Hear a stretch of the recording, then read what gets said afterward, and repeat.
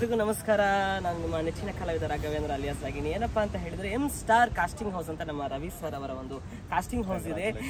ಇದರಲ್ಲಿ ಕಲಾವಿದರಿಗೆ ಸಿನಿಮಾಗಳಲ್ಲಾಗಿರ್ಲಿ ಸೀರಿಯಲ್ಗಳಲ್ಲಾಗಿರ್ಲಿ ಅವಕಾಶ ಯಾರಿಗೆ ಬೇಕು ಅಂತ ಹುಡುಕ್ತಾ ಇದ್ದೀರೋ ಈ ಎಂ ಸ್ಟಾರ್ ಕಾಸ್ಟಿಂಗ್ ಹೌಸ್ನ ಕಾಂಟ್ಯಾಕ್ಟ್ ಮಾಡಿ ಒಳ್ಳೆ ಅವಕಾಶಗಳನ್ನು ನಿಮ್ದಾಗಿಸ್ಕೊಳ್ಳಿ. ಥ್ಯಾಂಕ್ ಯು ಮಾಡಿ. ಹಿಂಗೆ ಮಾಡಿ